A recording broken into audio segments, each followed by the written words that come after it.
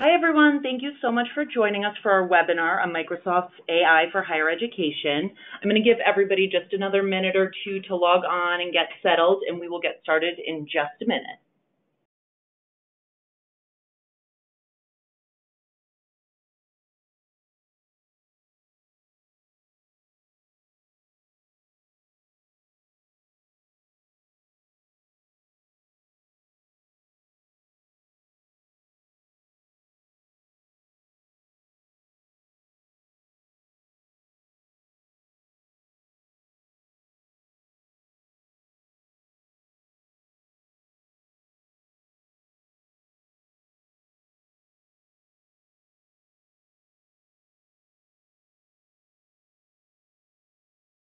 Okay, it looks like mostly everyone's here, so let's get started. We have some great content for you today, and I want to dive right in. But before I introduce our speakers, I just want to review a little bit of housekeeping for you. Um, if you look at the right-hand side of your screen, there should be a questions drop-down, so feel free to either hit the hand raise or enter a question at any point. We have saved time at the end for Q&A, so I'd love to be able to kind of get everybody's questions in if we can. If we can't, we'll certainly get the answers for anything that we hit time and end and um, send them out to you after the recording is through. Um, so without wasting any more of your time, I'd like to introduce our two speakers. We have Bart Schorsch, Data and AI Solutions Specialist from Microsoft, and Adam Worobec, Managing Director for Tallan's New York Metro region. So Bart, if you're ready, I'll let you get started. Thank you so much. Uh, it's a pleasure to talk to everyone today.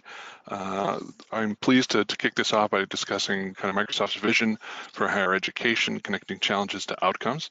Uh, this is not a, a, picture of our beautiful Fargo, North Dakota campus where I'm, I'm based. I'm a solution specialist for Microsoft focusing on our small to medium corporate space, uh, including education. Um, and so it's a pleasure to talk to everyone today. I appreciate the time.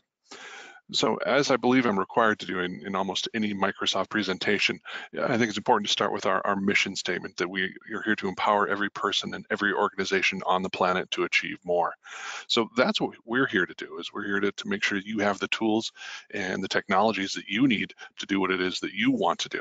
And specifically today, we're talking about artificial intelligence in higher education, uh, one of our very cool subjects. So let's start with kind of the key challenges that are, that are facing higher education today. Um, there's there's a, a, wide variety of them, and these are all coming from a Gartner report, by the way, in January uh, of last year. But at no time in history has there been such a unique and, and pressing set of challenges facing the entire higher education uh, infrastructure and system. Uh, some of the key challenges that we're seeing, uh, and again, this is borne out in my conversations with customers, are on funding models external and internal stakeholders are under continual pressure to provide more value, while the traditional funding sources of tradition, gifts, research, and government allocations are, are increasingly constrained. Uh, I work exclusively with public sector entities and have for about the past 10 or 11 years, and I very rarely hear the problem that our customers have too much time and too much money. So funding models is certainly a key challenge that's happening government policies and accountabilities, uh, global concerns about data privacy and security with uh, security breaches and cyber attacks that you hear about almost every day, uh, result in even more scrutiny for higher education, as well as a, a, very increasingly savvy population that's more concerned about how their data is being used and how they're being targeted, even if it's for benevolent purposes, even if it's well-meaning. Uh, how are institutions using student data and what is the, what's the purpose behind it and how is it being used and correlated? BYOD or bring your own IT, cloud and hybrid IT. Today's researchers have access to a greater variety and volume of data than ever before. But the race to publish and the first to be discovered has been limited by reliance on, on local on-premise com compute facilities. It's almost back to the old days of, of timeshares and, and mainframe computing as we seek higher and higher powered um, technology to do some of the massive data analysis and number crunching necessary for even things like biology, uh, genomics, and uh, mathematics and, and, high particle physics. But uh, promising new fields of, of, research can be constrained by striving to fund this with any sort of reasonable ROI calculation, even for educational purposes.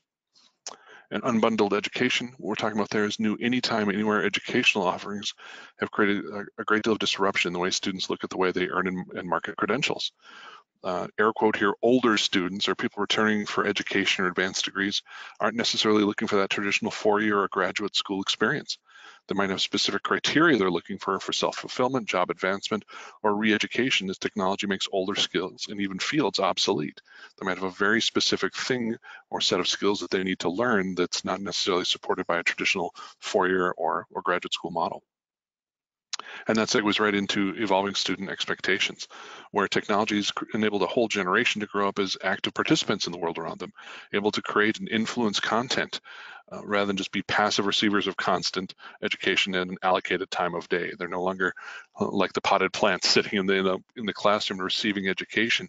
They expect and, and learn by a, a more integrated, interactive experience uh, in what was once a non-traditional way, but is increasingly mainstream. So if those are the challenges, there are certainly some business trends that go along with that. And, and so we're talking about reinventing credentials. Again, we started talking about the unbundled education with portable and stackable credentials, uh, a new approach to uh, enable the affordable earning of marketable credentials across an entire career and, and enable that lifelong learning when we talk about analytics everywhere, we as analytics growing among higher educations as part of the answer to the increasing pressure from regulators, as well as parents to improve performance and outcomes in, in efficiency in an increasingly uh, competitive environment. Personalization in education, the emphasis on personalization is in part, I believe, a response to the suboptimal student outcomes. Uh, every educational institution I've talked to has felt the pressure of student retention, graduation rates, and student and employer satisfaction. It's also becoming a key ingredient in attracting students in parts of the market where enrollment is, is very competitive. And did educators 20 years ago think that they could be sued over false placement data? Likely not. So that personalization and uh, outcome-based education is, is definitely a trend. Ranking. Uh, ranking lists are increasing in importance as the education ecosystem is expanding. Global competition for talent, um, both student and in faculty, is getting fiercer. And revenue diversification digital technologies made it possible to provide education anytime and anywhere. So as a result, institutions are looking at this as an opportunity to offer online and hybrid programs and extend the geographic reach. So you're no longer listed to local colleges or there's certainly online only institutions uh, that are attracting students nationwide. So they attract hope, uh, they hope to attract new learners from new markets looking for skills and knowledge, but may have those time and travel or even career restraints since of course I work for a technology company, uh, let, let's talk about some of those technology trends that we're seeing as well. So this is about the third time I think I've talked about digital credentials, but again, we're talking about those uh, credentials that, that, stack and that go with these students uh, and, and, educators for lifelong learning. Uh, and it's really talking about the increased need for speed and granularity in credential exchanges and creating those portable credentials.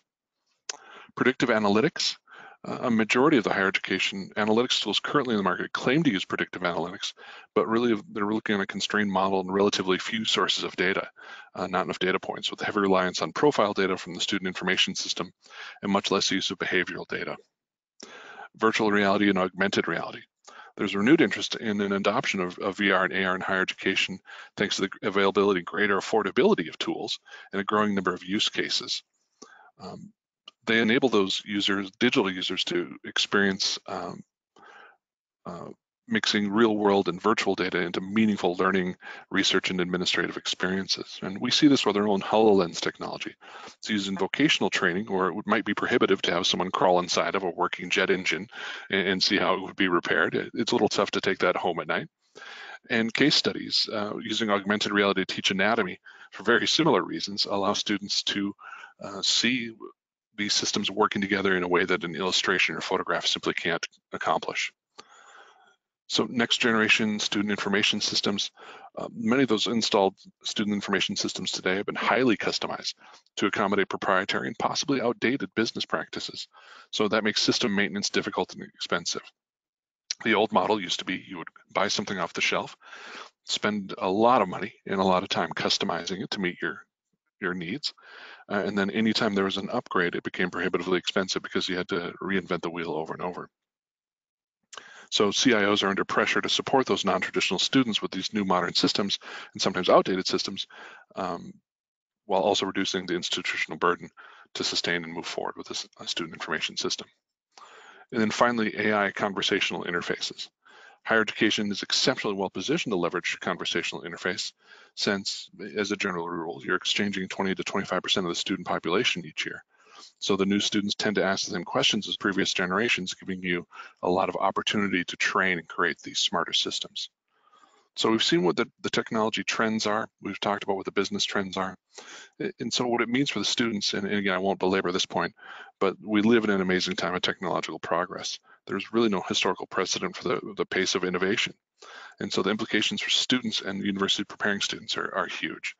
The, the one that always jumps out at me, and I've seen this number vary, but 65% of students are in grade school in grade school today will perform jobs that have not even been invented yet uh, a, a simply stunning number that talks about how we must have our educational institutions evolve and be prepared in ways that we simply haven't before. So, so how do we do it? What, what do we do? What tools are available? Well, for Microsoft, one of the things we have is something we call our Educational Transformation Framework. And, and don't worry, I'm not really going to read the entire slide to you here. But the idea here is that it's to help you develop a strategy for digital transformation with a holistic long-term view uh, that's broken down into discrete phases that you can begin as soon as you're ready.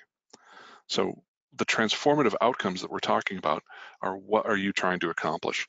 Uh, establish that holistic vision and integrating multiple systems and data into that single intelligent platform is really what we're thinking about is paving the way to streamline process and, and creating those transformative outcomes to prepare students for the, the, the jobs and the careers of the future.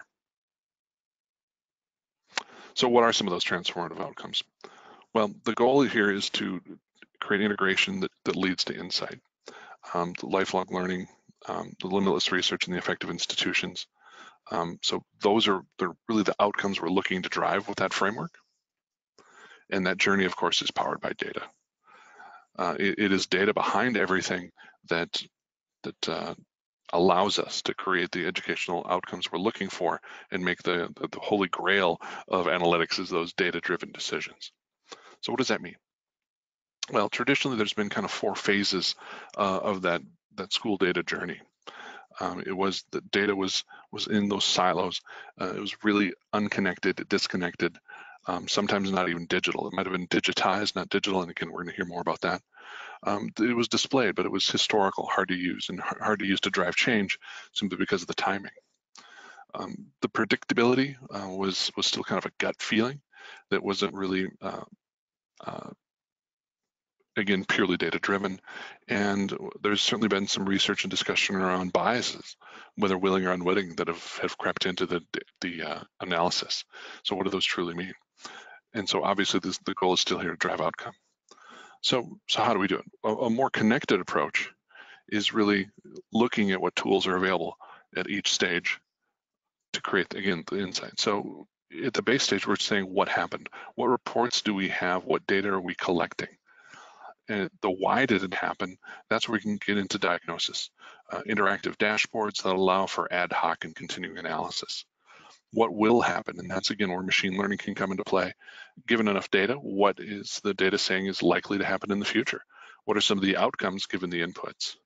and then prescriptive guidance that can talk about recommendations and even create automations on what should I do, what should happen. So how does this technology work in education? What are some of those transformative outcomes? What are what are people asking to do? Well, again, we can certainly get into that, and that we're going to be talking about it today. But the idea here is that we're building smart applications. We're building organizational analytics, uh, getting data on, and how teams in an organization are collaborating. Identify those top collaborators, um, see what, who we're working on and who, who's not collaborating. Customize dashboards, uh, dashboards and portals that give that personalized contextual experience smart workflows that combine the structure of organization with a business approval list. Uh, patterns, graph connected devices, graph connect powered bots, intelligent business product automation. What does all this look like? What are some of the options this looks like? So going back to some of those connected experiences that we talked about, uh, this is a, a student uh, who is a savvy digital consumer. The student expects a network of connect a network of connected mobile experiences at the universities. They want those campus apps for finding roommates, getting transportation, booking meetings, purchasing meals, rating courses, and more. And this is technology that exists today. So how do we do it? What what technologies are behind it? Well, there's there's a wide discussion on, all what that looks like. Uh, traditionally, again, we might have had uh, on the left there just a, a variety of data sources uh, simply existing in silos, not really lending themselves to analytics. But again, looking at how we're doing some of these things, putting them together in different types of storage and analysis, um, relational storage bases and machine learning uh, combined with service level agreements that, that create certainty, it can lead to those increases in student performance. It can lead to, again, creating those transformative, agile, modern outcomes that educational institutions are looking for. So there's a ton of education transformation materials online. Uh, again, we you can contact your Microsoft sales representative to to uh, to discuss it. And we've come a long way from the old red pen and gradebook that was used in the dark ages when when I was in school. But again, starting with that end goal of creating positive outcomes and not just change for the sake of change is what Microsoft and our strong partner ecosystem are, are here to help you do. And we certainly have plenty of ideas on how to do that. And so one of those ideas is uh, I'm going to turn it over to uh, my fellow presenter. So Adam, are you there? I am. Thanks. Thanks, Bart. Great, great All intro. All right, sir. There you go. Turning it over to you now. All right, I'm going to show my screen here. And as I get started, um, thanks everybody for attending. Um, I'm going to focus more on those connected experiences that, that Bart talked about. Um, because personally, I feel that there's a lot of opportunity when when you take the technology to the end user you're making that last mile connection um, and whether it's students or staff or anybody in between um, there's really the biggest bang for our buck i think and and and then in terms of data and tying back to that sort of point that bart was making about data making the world go round and data is really what makes ai possible um, AI learns from the data that we provided. Otherwise, it, it really doesn't doesn't get any smarter over time. Um, it's those experiences um, that that can generate that data and and and make those and, and then we can turn that around essentially and make those experiences even richer over time. So in terms of experiences, um, I wanted to kind of walk through the student journey, um, starting off with how you would generate awareness for your program, how you'd promote it, um, and how you can apply some of these, you know, connected experience concepts and AI in, in, in, into that stage. Then let's say we got their attention and somebody's interested in applying and going through the process of enrolling and registering for classes. Um, and and and what does all that look like, and where where are the pain points that we can improve with AI? And then finally, they become a student and they're living the student life, and eventually they'll graduate and they'll become alumni. And these are communities that we've created, and and again, with these connected experiences, we should be able to nurture uh, throughout um, and, and, and take advantage of that.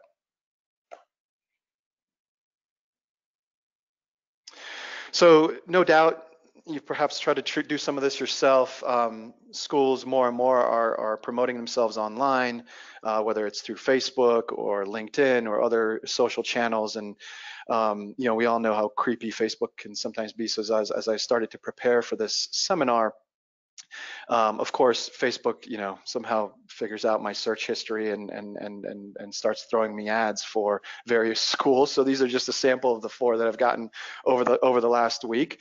Um, but the reason I actually incorporated them into into the session, session here is that a lot of these, um, you'll click the learn more if you're interested, and it'll just take you to a web page. And that web page will have, you know, what traditional web pages today have. Um, and that's you know content and some of it's clever and creative. Um, but it's it's it's uh, most of it is very one way. Um, they're pushing information to me trying to convince me that this is the program for me and that I should enroll and this is where I should spend my money and my time. But imagine if we could make that a little bit more interactive imagine if if I wasn't just taken to a web page that was pushing content to me, but something that was engaging me and and and actually at the end of that experience where I felt like I learned something, or if nothing else, my time was spent valuably. And we have a story here that we're going to show a demo of in a second um, of a program at Rutgers University. There's a Center of Innovation Education at Rutgers uh, the program focuses a lot on certificate-based programs. Um, they've taken this extra step of, of, of, accrediting them, so anybody that, that passes one of the certificate programs actually gets college credit towards if they're perhaps learning, earning an MBA somewhere or just need continuing credits. Um, but more importantly, um, the program focuses and is geared towards people, you know, professionals that are working, um, and and and the curriculum is designed to be around issues that are of interest to corporations, you know, in today's environment. So, so one of those is customer experience and the whole customer experience from how you get customers to how you service customers and support them the whole lifetime. Another another program is centered around design thinking and bringing in those concepts into designing and redesigning your business models. Um, a third one, as an example, is cybersecurity. Um, we were familiar with the customer experience program, and, and one of the things um, that we pitched them on recently was the idea that maybe they could take a piece of their curriculum and use that to promote the program. So on the first day or one of the first days of, of class, the instructor would give the students this assessment to take. And the assessment would grade or be designed to essentially grade um, or have the student grade their organization on how well they're doing in customer experience. So anything from strategic questions to operational questions to finance um, and how projects are structured and, and really give you a feeling for where are you doing well and where do you need to improve and all that comes out a, as a score at the end. But this was very offline and again it was just for the students. So one of the ideas here was guys this is something you potentially use to promote your program let's make it interactive let's make it digital and then you can put it on your website you could use it as part of your facebook or linkedin campaigns heck it might be so interesting that people would just share it without you, you even paying for it uh, pay, as an advertisement and then the beauty of it is whoever's taking this assessment is obviously getting something in return. They're they're getting a score. They're able to see how well they're doing and which areas they need to improve in. But but the even more valuable piece to the program is that behind the scenes, all those clicks, all those signals are being recorded.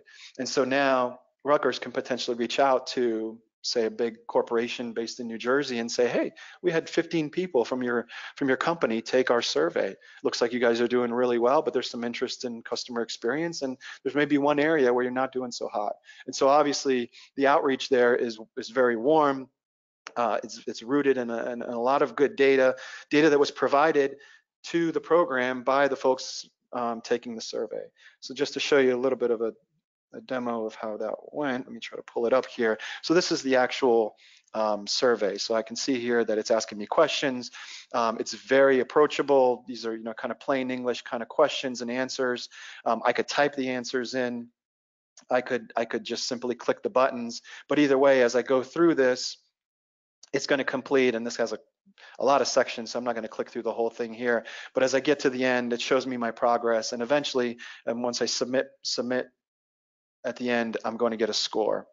And when I get that score, uh, it can be emailed to me, I can share it with friends, and that sharing is what creates kind of a viral element um, and, and potentially lets me, you know, share it with my colleagues and others with, within the company. All that goes to, to, to, kind of support that story of where at the end, you know, both the, the, the people taking the survey as well as the Rutgers program getting all this great data that, like Bart mentioned that data being so valuable to potentially make some decisions around whether to attend the class and again for the program to be able to promote this to uh, to those students.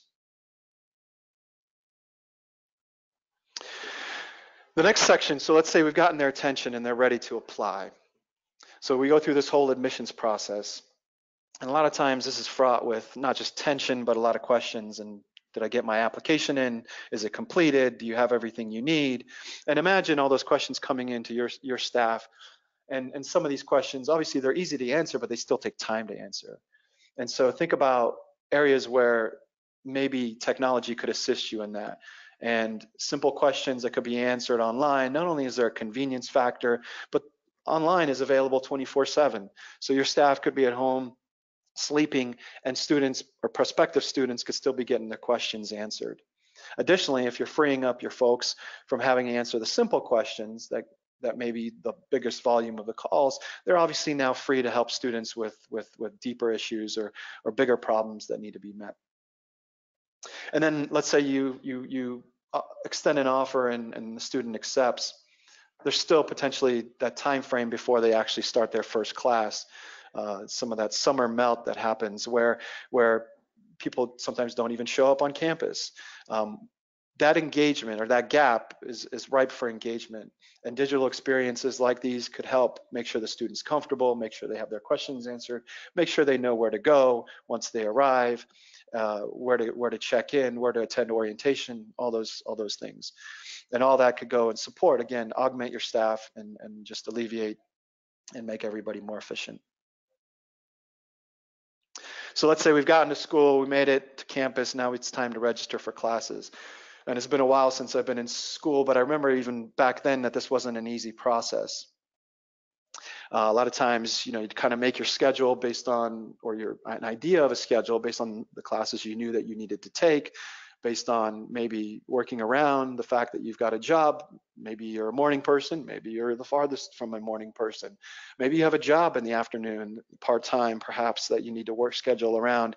And then there was the sort of wild card that even once registration opened up, there was an element of, oh, sorry, this class that you wanted is already full. And then what was my backup plan? And did I have a backup, you know, schedule already made up? Well, think about all those questions that I just laid out there. And couldn't AI essentially be really good at understanding those simple things and perhaps making a schedule for me? And maybe it can't do all the registration because obviously there's money involved. But if you think about e-commerce and Amazon, able to you know ship us packages in two and sometimes or soon to be one day uh, with the click of one button there's probably a lot we could be doing for registration that would help these these these students um, you know essentially not feel the pain that we felt you know 20 and, and, and more years ago.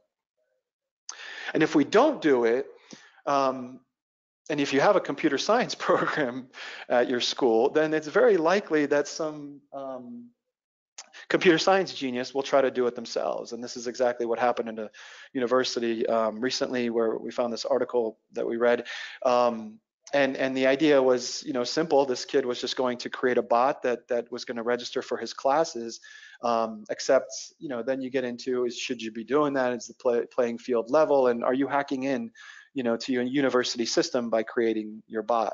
And so isn't it just going to be that much more simple and, and straightforward if the school provides these capabilities and students don't have to hack their way into registering for classes? And then we've got them in, they're taking classes, um, and this gets into that, starts to create or set us up for those connected experiences becoming connected communities.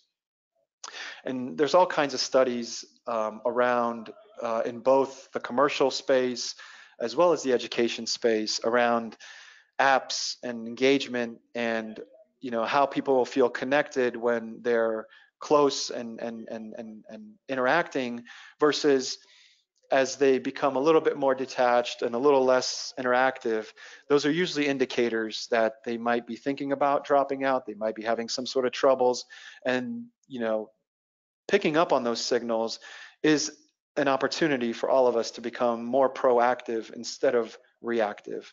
So there was um, the one particular study that I'm thinking of was a company that had implemented some uh, tools to essentially help employees reward and praise each other, um, kind of build a community digitally around a workforce that was dispersed geographically. And geographically, obviously, it can be across your campus, it can be across many campuses and, and it could be even across across the globe. But what they found as they studied the data that came out of these experiences was that they learned that somebody that was active at a certain point and maintain a certain level of activity it was very unlikely to become to essentially quit the company. But there was a certain amount of predictability and, and that's what all you know that AI is is really just a statistical measure of how probable is the outcome. But once you know you get to a certain threshold you start to see that you know there's a certain likelihood of one that we shouldn't ignore that this person might be at risk for dropping out simply because they become less and less engaged and so having these communities um, and, and, and, and promoting them and supporting them uh, enables us to, to a create that level of engagement but also b have the data again those signals created that we can study and potentially uh, improve you know our ability to respond and, and essentially increase our graduation rates. So there's just, a handful of quick ideas about how this could work. Um, there's obviously not enough time here in a seminar like this, you know, to, to cover to cover all of them. And, and really, a big part of it is just like with the Rutgers example, is making it unique to to your organization. Uh, there's got to be something that you're already doing that potentially could be leveraged, or something within your culture or or your environment that's going to be um, some you know something that would would make your program stand out and, and and putting putting that out into these experiences is gonna is gonna just like we saw those ads and they pretty much all looked the same. They were all you know while they were all different programs one healthcare one one business related and another was technology related there wasn't much to set them apart. If you squint your eyes and take a step back you know they were all pretty much very similar. Whereas you know how can we make these things more more exciting and more engaging. And so that's what we wanted to, to, to kind of end with here is, is really how to get started. Um, so as, as, as Bart said at the conclusion of his presentation, you know, you've got to have a strategy. Um, take a step back and, and, think about what that is. Um, obviously, the framework he laid out had a number of pillars in it, and, and there's probably folks that are, you know, addressing each one of those pillars um, through their sort of respective specialties. In, in this experience pillar, um, there's a number of skill sets that are important. Um, some of them you can kind of think of uh, are, are, common to the startup world, where you have this idea of a, of a product owner. And so somebody in that seat is essentially representing those stakeholders. And in your case, it's going to be, you know, the, the, the, school as well as the end user's interest, right? So the student, if it's geared for the students, the staff, if there's a staff component. And then that product owner needs to work with some good designers, people that understand not just how to make things look pretty, but really understand kind of the psychology with how people interact with technology.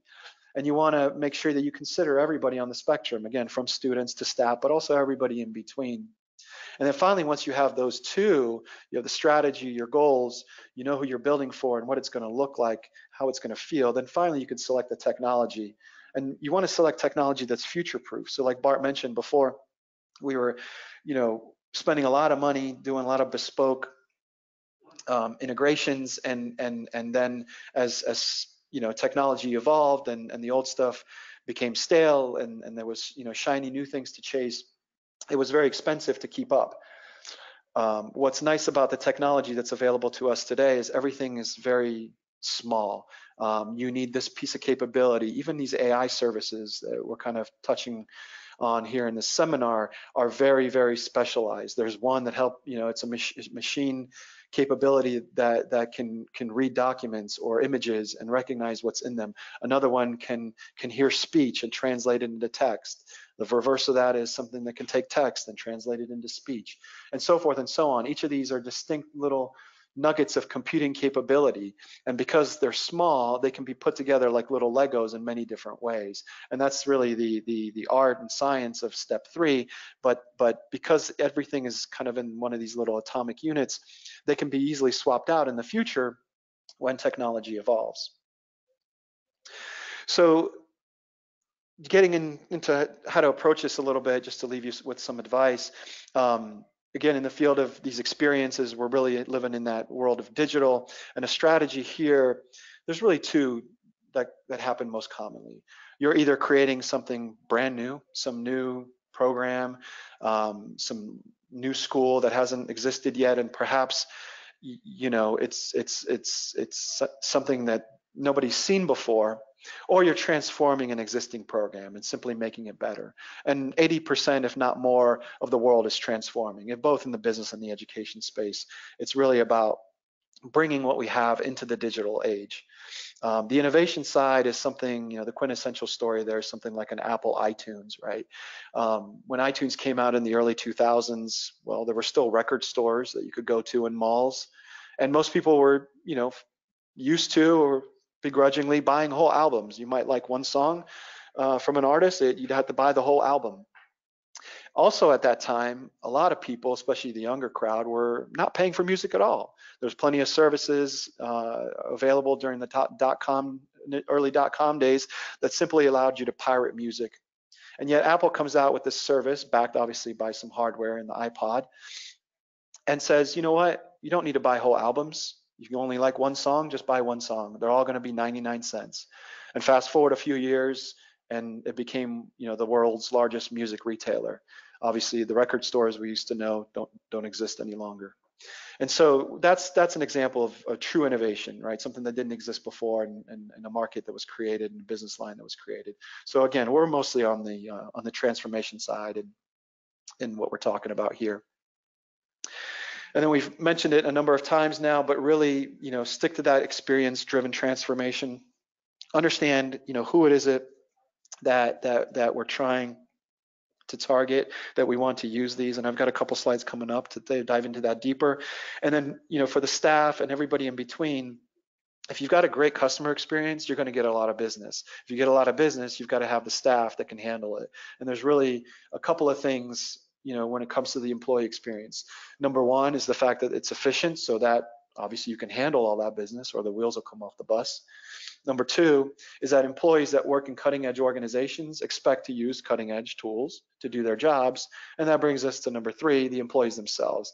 You've got to be able to retain, recruit and retain employees just as you re recruit and retain students. And all that seems to seems to go really well hand in hand in this new digital age. So thinking about that student journey, let's take the one we just went through, you know, from the college search process through application and enrollment, finally registering and, and enjoying that student life to finally hopefully graduating and becoming an alumni. And if we think about, you know, from the student perspective, but really anybody else that might be using the system, these are these personas. You got to think about who is it? What do they think and feel? And pick one of those in the in the in the journey. Don't try to knock them all off at once. And if you do want to do multiple ones do this process for for for each leg separately. Um, so let's say for example for the awareness piece you know somebody in that awareness stage who is it? And what are they thinking and feeling? What do they want to see?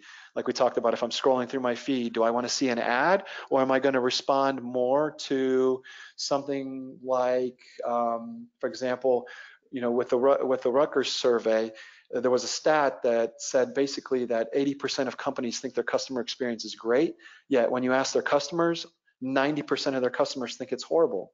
So, you know, something like that catches your eye and, you know, there's all kinds of clickbait on the internet, right? But but something like that is more interesting than simply just seeing a traditional ad.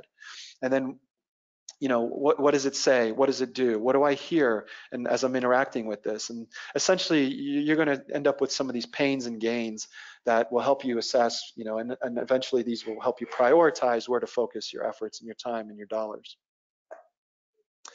And then as once we once we figure out who it, who it is we're targeting, all the different personas that are part of a certain process, then we've got to think through some some other things. You know, how do we get their attention initially? We just talked about examples of that. Gain their interest, right? So take me through this survey. I'm going to get something something out of it that leads to that desire, um, because I want to see the score that I get and and and, and see you know if if it's where I thought it would be and ultimately there could be an action at the end of that, right? If I see, okay, we're doing well here in these two areas, but we're really, really bad in these three areas, that's going to lead me to maybe have more contact with that school and that program. Ultimately, then that could lead me to the next step of how do I get onboarded? How do I enroll? Where, where do I pay my tuition? When is the class? And then obviously some of those student life and connected community components um, can keep me engaged as the class date is approaching as, as well as, you know, after the class, obviously everybody that goes through it is going to be part of this community of people that want to make in their case their customer experience better. So why why not support that and and, and provide that um, and keep them in keep them engaged? So just to just to recap overall it's the strategy first the experience second and then the technology. And we're living in a great time to be building new technology because it really is um, just so much more cost effective. The, the, things we can we can put together in days and weeks now used used to be either impossible or take you know years and, and millions of dollars. So it's very very exciting.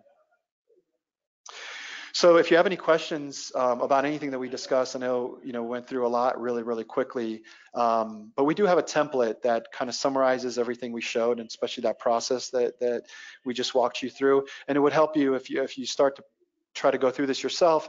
uh, it would guide you through some of your thinking and, and help you fill in fill in those gaps. So if you're interested in that in that template, uh, definitely reach out to us, and we'll be doing some follow-ups.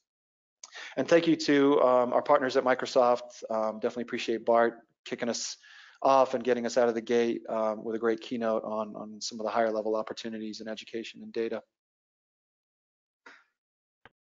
Thanks, Adam. Um, we actually did have a couple of questions come in, so I'm not going to take up too much of your guys' time, but I do want to get them answered if we can. Um, the first one is actually for you, and it refers back to kind of the Rutgers bot that you guys built. It looks like this person wants to know how long it took um, from development through implementation for you guys to get that off the ground for them. If, if you're asking development technically, it's it's actually very simple. Um, I would say it's a matter of weeks um, from the technical side. The long the longest part is is is actually just planning out. You know, what is it going to say? Uh, is there a voice, certain voice you want your bot to have? Um, do, do you want it to be kind of playful and, and, and colloquial, or do you want it to be really serious or something in between? Um, luckily for them, since it was a survey or assessment that they already were doing in, in the class, those questions, you know, they were already there, so we could just simply plug them in. So that all up, you know, only took only took a number of weeks. Uh, if you had to start from scratch and create some content, you know, it, it's gonna it's gonna take a little bit longer. But again, the point being is that, you know, like I was saying earlier, we're living in a great time, and that the technical piece is actually is actually the easy part. Thank you. Um, the next two, it looks like, are for Bart. So the first one says, would I need to modernize or use all Microsoft data sources if I want to use your technologies? well, uh, my, my sales manager would like that, but no, actually, you don't have to. Uh, Microsoft loves open source. Uh, I believe uh, between a third and half of everything running in our Azure product today, for example, is, is on a Linux workload. So, no, Microsoft loves open source, and we can work with a huge variety of data sources and, and what people are, are owning and using today. Awesome. Okay, the last one um, says, do I need to go, quote, all in with these technologies to start? Great question. So no, you don't actually have to uh, have your entire plan um, fleshed out to, to get started. We certainly recommend it, uh, that you have you know some ideas and some milestones. And again, uh, we have great partners and we have uh, your account executives uh, that can help you uh, guide you in, in the journey. But no, you don't have to have uh, a million dollars to spend right away. This can absolutely grow, and you can see that ROI, and and we're here to support you in the long term. So no, you don't have to have everything um, done initially, but it certainly helps. But uh, we're here to help. Okay, and we just got one last one. I don't know. It looks like both of you might be able to answer this. It just says, what size schools would this be suggested for? So I don't know if it's AI capabilities completely or if it's something like a, the bot Adam that you were referring to. Yeah, I would I would say it it all it all works for all sizes. It, it it you, you may not need all of it if you're a smaller school and and and you're going to you know need a whole lot of it if you're obviously a bigger school um, you know with with bigger problems. But like with the Rutgers example you know we're focusing on a, a pretty modest um, certificate based program that maybe has a class a quarter of I don't know I'm guessing a couple dozen to three dozen people right? So so that's that's pretty small. Um, and there was still value you know in helping them promote it and, and, and get enrollment and create those communities. Um, whereas you know you scale up from there you're getting into hundreds and thousands uh, hundreds and th thousands of students I would agree with that. I think it, it's very scalable. Uh, in, a lot of our cl cloud technologies are intensely scalable, meaning that as your consumption uh, need rises, we can rise to meet you. So uh, you can start very small, uh, pretty inexpensively, and, and, start adding and building on these technologies. Simple bots um, I've seen built in in as little as a day uh, by people with very little technical background. Uh, a lot of step-by-step stuff, but again, it's it's pretty simple to implement and scales with you and can work with customers of all sizes. Thank you. Um, that looks like all the questions we have so far. Um, so like Adam said, we'll be sending you all a follow-up with the recording to the webinar. We will send you the contact information for both Bart and Adam so that you can have their information if you have any further questions. Um, please share this with your colleagues if they weren't able to attend today and you think they'd be interested. And please do feel free to reply to our follow-up if you have any further topics you're interested in learning about at a later date. So we will gift you 14 minutes of your day back, and I hope everyone has a great afternoon. Thanks.